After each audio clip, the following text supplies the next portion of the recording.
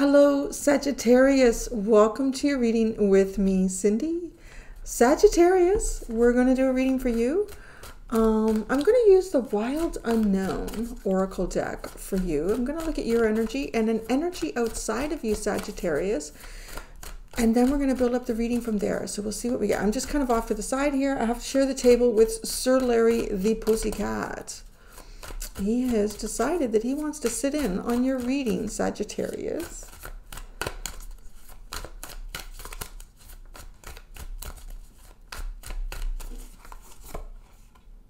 Okay, you have the fox. The energy, ooh, ooh, that's interesting. The energy outside of you is the golden egg. Okay, so starfish is at the bottom. Frog cleansing. Okay, swan frog, starfish, tons of water, tons and tons of water in the past here. A lot of water, a lot of cleansing, a lot of reflection, a lot of shining, like um, finding something unique about yourself after going through some period here of cleansing and self reflection. Now you're trying to get into the hen house, honey. so, what you're doing but you're this is so intriguing. I mean, this is really coming out like the fox and the hen house. And what is in there is the best egg, the best egg you've ever had. It's sitting outside of you here. Um, there might be some I want to say some careful thinking and thought to to this doesn't feel well it could. I mean, it could represent it could represent a person, but it most likely represents an accomplishment, a place, or a thing. So for, for whatever reason, though, to get this, it's not a straight avenue, and there might be energies that are trying to block you from achieving it. Whether those energies are now, because I'm just going to say, so whether those energies are, um, they've got you know every right to try to block you from this, and just hear me out, because right, I'm you're coming out as the fox, and the fox tries to take the golden egg now, doesn't have to be that there's, you know, the symbolism of that, but I'm going to look into it because I'm going to call, I'm going to call out what I see. But I kind of sort of think that there's just something going on around you that kind of wants to stop you. Like I'm picturing like the farmer, right, of the hen house. Like don't get in there and take the golden egg. But you're probably also the best equipped the best equipped and the most likely to succeed in this.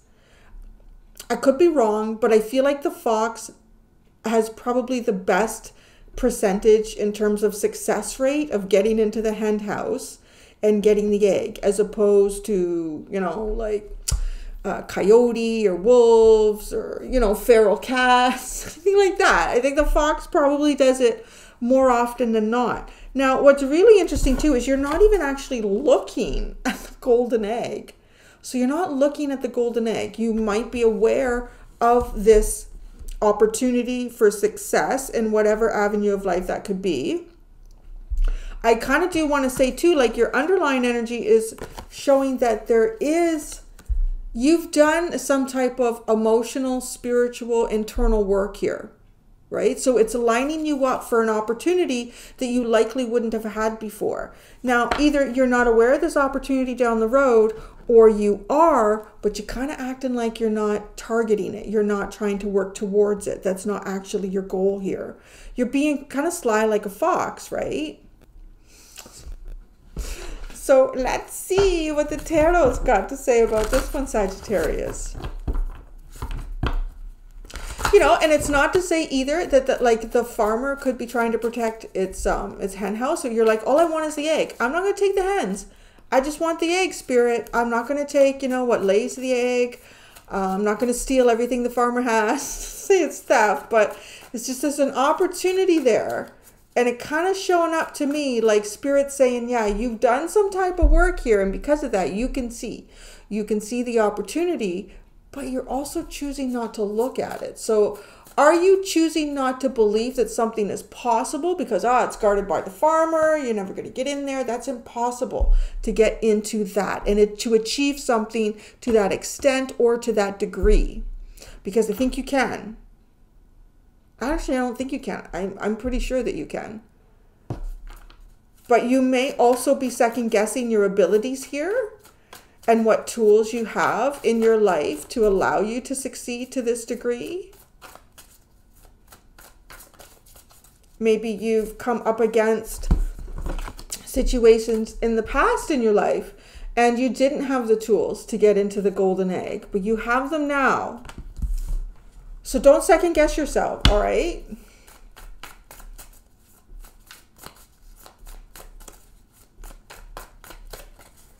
With the fox. Wow, you have justice. I told you. The high priestess. And the freaking Hierophant. Sagittarius, you have every tool required here for this success. If you found yourself in life without those tools and you haven't been able to find that success or meet that success in the past, don't let that be the thing that holds you back right now. Nuh-uh, no, uh-uh. You have this. This is for you. Spirit has got your back, and I kind of want to say, like, there's a double. This I'm coming out because we got justice. We have this this yin and the yang. There's something that's balanced here, or something needs to be balanced. Like something maybe you've overly balanced here. Maybe you've overly, maybe you've taken on too much in the past, and it's caused a pretty good purge here, uh, a cleansing rectifying your energy. Something needs to be rectified. And both the universe, and I feel like the things that work within the parameters and the frequency of the universe here on earth are also like these are the two elements that I feel are coming up as the two elements required in justice for you. This is kind of spiritually written. What's a golden egg?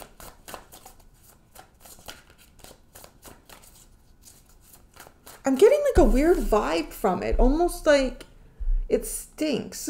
like, a, like a rotten egg. Let's see. Let's see what comes out. You know, it could be something in the past that was a rotten egg. And that's why you didn't achieve it. Let's see this golden egg. It's an energy outside of Sagittarius. The Four of Wands, the Four of Pentacles, and the Six of Swords.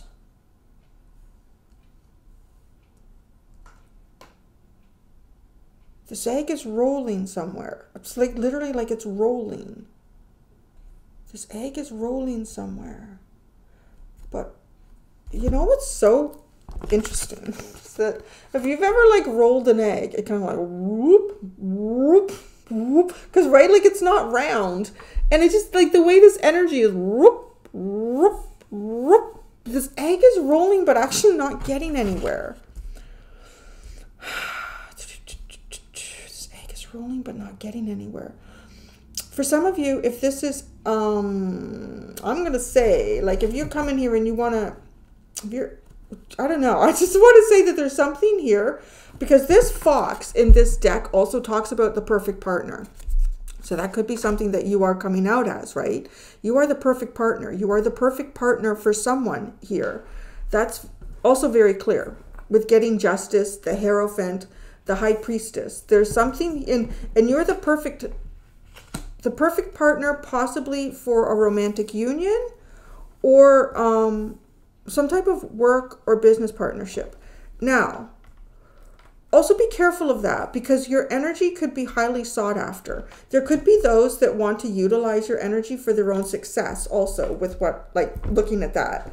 Um you're coming off as perfect but also having an opportunity to a golden egg that finds that to me is almost something that kind of moves around when perhaps others try to claim it or or catch it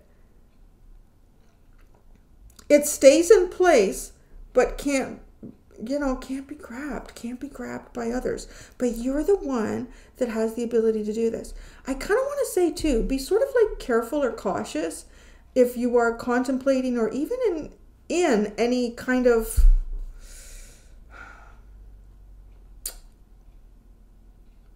I don't know, business arrangements or anything like that. Just make sure that you're really comfortable, if you are in any type of a business arrangement right now, that you are really, really comfortable with what that person brings to the table and that they're not utilizing your energy to get somewhere because this golden egg is not touchable for everyone. If you are connected to someone who is not meant to reach this type of success or connect with this golden egg, it will keep moving if you're connected to them. It'll stop moving for you to pick it up when you're not connected to them. You have all major arcana and you're coming up as the perfect energy for whatever this is. It's yours and yours alone. Okay? I said, okay, right? Yeah. Okay. Seven of Pentacles is at the bottom. Why are we so twitchy here, Mister? It might be. It might be time for a new plan for you. Or you've actually, maybe you've already done that because it is underlying. Let's clarify. I want to use, I'm actually going to use the um, Everyday Witch to clarify instead of the uh, Wild Unknown Tarot. We're going to see. We're going to see how you're the fox.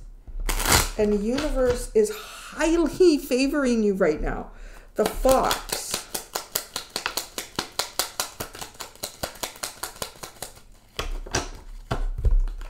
Oh the Nine of Swords and the Knight of Pentacles. All right. See, okay, that is, I feel like that this is something that you've tried to achieve before, or some type of recognition or success or goal that you've had in your life and you haven't been able to to meet it, to get it, to grab that egg.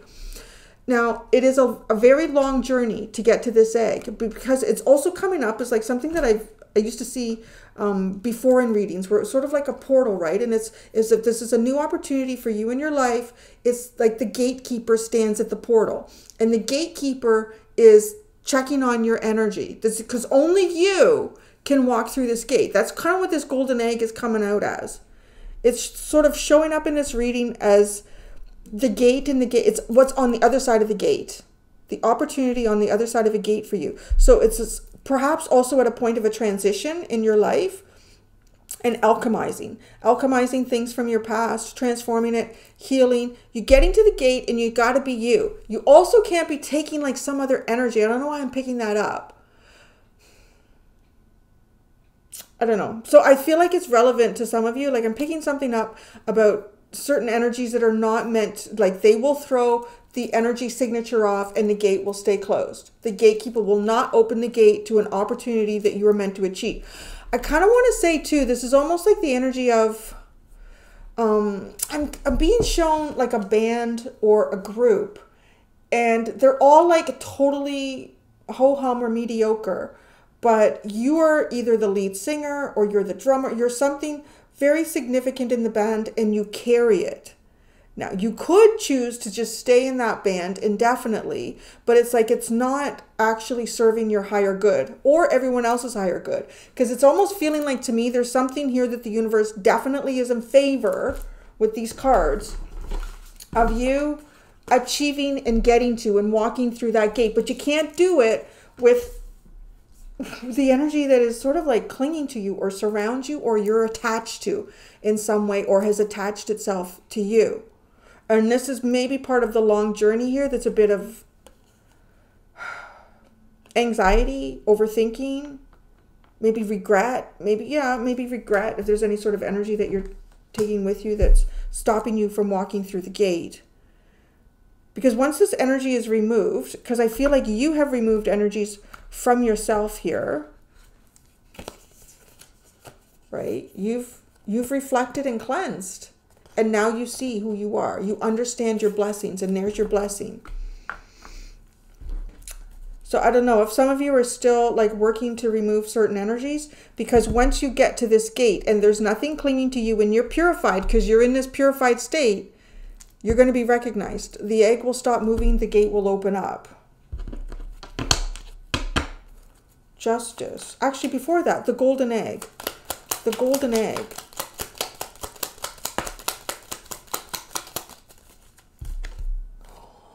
Oh my gosh. Guys, it's the Ten of Cups and the Nine of Pentacles. There might even be a whole group of people on the other side of the gate. I don't know. But this is making happiness. So stick with me here as the analogy of like this band. And you're in this band, and part of you may feel like, well, if I, you know, go solo on my own, what's going to happen to them? You know what? They'll keep doing what they do. They'll do it on weekends at clubs or whatever. They'll play music, but they have a path. There's something about your path here, and it's not the same as some other paths that have been around you. So if you tried, like let's say you tried to accomplish whatever this could be on the other side of the gate through, well, I want to do, oh my God, whose reading was that? This is not the time for, this is a time to be selfish. Was that a, a, a collective reading? Because that's exactly what this is, Sagittarius. Because being selfish is for the higher good of yourself and everyone else. I'm literally getting like when you walk through the gate, you're going to make your own music and this music is going to be like you know like be a frequency or resonance that would be healing or uplifting to people. But if you brought in this other energy with you through sympathy or well you know we've been together a long time and uh, you're not going to make the 10 the egg won't let you do it. So it literally would be like right like this is really interesting because it's kind of showing up and why it was so important. I don't remember what reading that was but it was something about you know we really this is not a time for being um, selfless uh, altruistic. This is definitely you're meant to do something here and you're meant to walk through this gate. And it's for like right it creates happiness. There's happiness there. There's also it's almost like to say like when you do this when you create all this joy and happiness not just of yourself but with others you do get a reward i want to say there's also great financial stability for you with the golden egg this is a big change here I mean, honestly, I'm really looking at something where, to me, it feels like someone who lived a certain life here. And I want to describe it as also somebody who almost becomes like famous or star with the starfish. And it takes you into a whole new group of people. But this is spirit led. This is 100% spirit led. This is not you chasing like fortune and fame. I feel like it's something that might even come to you somehow.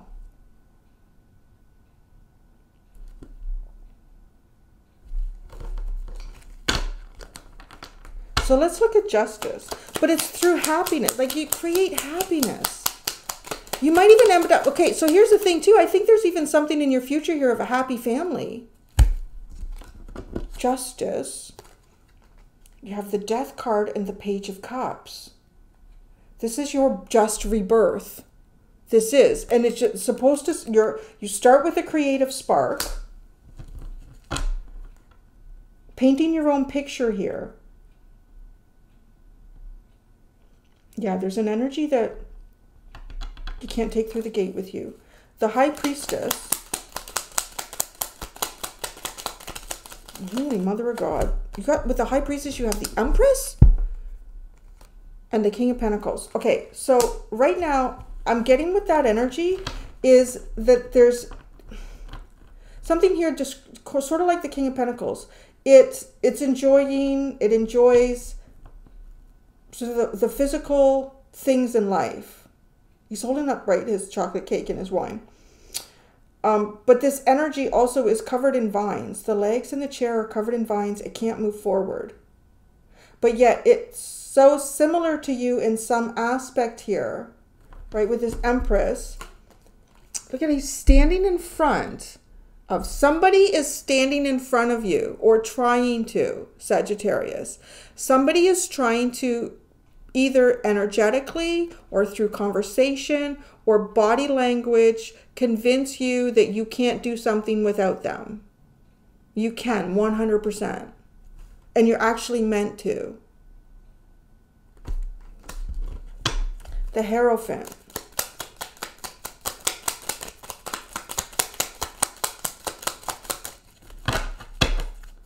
The Hierophant.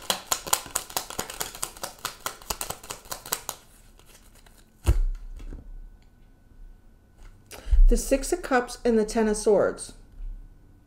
There's somebody here that it's kind of coming up as your past, right? Someone's from, but I don't. It's kind of the wrong way to describe it because the Six of Cups to me is coming up as um, someone that you've known for a while, but the Ten of Swords is there with this. This is this has I don't know. This has to end.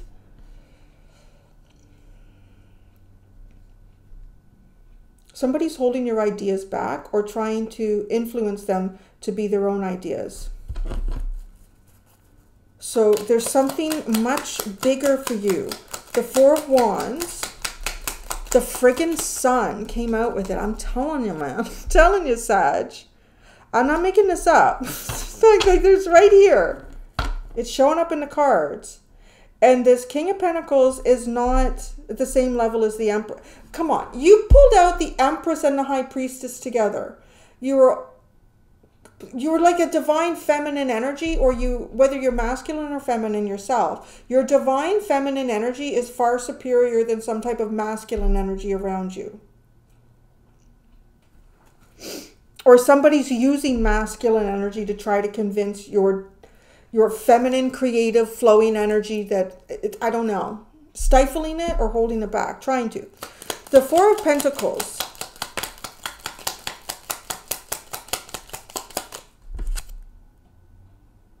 The devil. That's, oh my God, but that's why the egg wobbles. This is literally showing me like the egg wobbling. And it's, you know, if you wobbled an egg, rolled an egg, you know which way it's going. It can't be caught. The Six of Swords, spirit moves the egg. the devil can't get it. Because this King of Pentacles is coming up to me as if, uh, it, okay, you have so much more than this King of Pentacles with the High Priestess and the Empress. Like it's, it's, the the amount that you could bring into your life and create into your life is almost like unimaginable okay? So but this energy here it wants to show you what it has. It's almost like um yeah like displaying or peacocking kind of like that. Like look what i got look what i got. But it's not i don't know it's just not not enough. And it's it kind of wants your energy because it's more than what it's had. This could also okay it's very specific. This King of Pentacles is coming off to me as someone who may have even been born in wealth. Somebody who may have had wealth or may have had some level of, you know, family could have had, I don't know, um, a business, a shop, a restaurant, the cake and the wine, some place where you would go to eat and drink.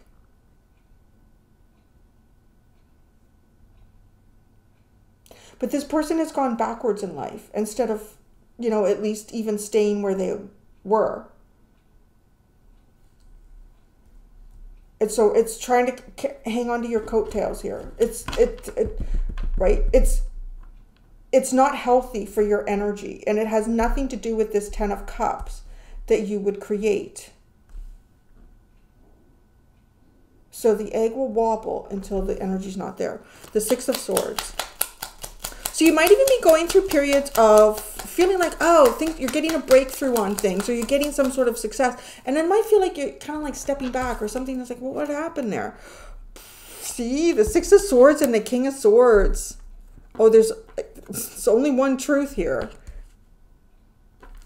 That's that's coming across as the gatekeeper to me. You know, I really like. He's got like a white cat, like a white cat, and we got you got the white cat. Larry came into your reading right? He came into your reading, I feel like, to purify your cards and keep the, the message solid. We got the Two of Wands and the Chariot. So you focus, focus on your future here, and that's where you're going. But there's an energy here that can't go with you, you know. And if it's not someone who's in your life, like right now, I feel like either there are might be people that show up that mimic this energy because it's something you're familiar with. So you kind of like easily identify it and could be bringing it in. Or um, it's the energy of someone from your past. And it could be, it could be somebody that well, the Ten of Swords is here. This person, I sort of kind of also want to say that this person will end up betraying you. If your energy is so much more than theirs is, this, this energy will keep you small because it has to be able to contain you. It's kind of like someone who's realized that, you know, they don't have any money to pay for the hydro bill anymore, so the lights go out. It gets dark at 6 p.m., 6:30 p.m. There's no more light. It's dark in the house. And then they find you and you're sort of like a firefly, so they put you in the jar, but you're not just meant to be a firefly for that person. Like it won't let you it'll let in enough air and keep you contained. It'll let in enough air and keep you contained. Just to light, but it lights up its own home with you. It lights up its own energy. It's not letting you move and light up everything that you're meant to light up. Which is kind of, yeah. That's interesting. So that's what I got. I'm going to do the extended uh, Sagittarius. In the extended, I'm going to see, okay, I'm going to look at the energy between you and the golden egg. So I'm going to see how this energy, what the two of your energies create as a combine, and then what the combination of these two energies do to you, and what the combination of these two energies do to the golden egg. like, like how that's working out. And it might even sort of give a perspective too on how much or how little some sort of outside energy has an effect on the gate of getting through the golden to the golden egg. There you go. Thank you so much, Sagittarius. Until next time, be gentle with yourselves. Bye.